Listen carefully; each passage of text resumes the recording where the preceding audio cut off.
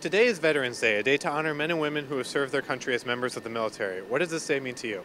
Uh, well, it makes me think of my grandfather who served uh, at Anzio in World War II and my father who served in Korea. It means taking time to stop and honor everyone that served, past, present, and future. Well, as a veteran and uh, as a, a, person with many military in my family, um, it has a special meaning.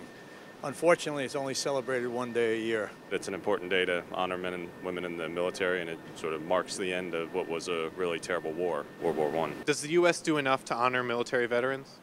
Um, I think they do. I think it needs more, especially now that uh, men and women are coming back from Afghanistan and Iraq. No, I don't. I don't think that the U.S. necessarily does enough to honor its veterans. It's a that there's a lot of competing interests, and if it were up to me, we would do more. I think that they're trying to. I don't think that they're necessarily succeeding. I know personally that um, that people who are coming back from wars, um, they're you know not getting the proper treatment that they deserve, and they're having a lot of trouble reacclimating. I think so, symbolically at least. I know there's a lot of uh, difficulties with what's caring for veterans, especially who's been injured afterwards. But I think we do a lot to honor them, at least symbolically. The U.S. is in the midst of fighting wars in Iraq and Afghanistan. Does wartime change the significance of Veterans Day?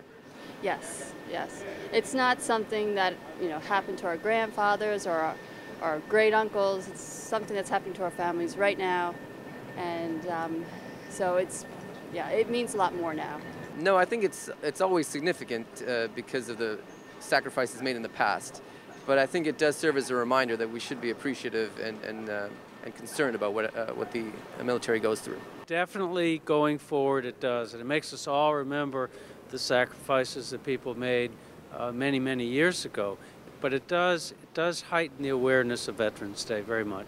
Uh, no, you should always, I mean, be appreciative of when you have servicemen overseas in wartime or in peacetime. This is always troops there. So I just bring, it brings it more to light when there is a war.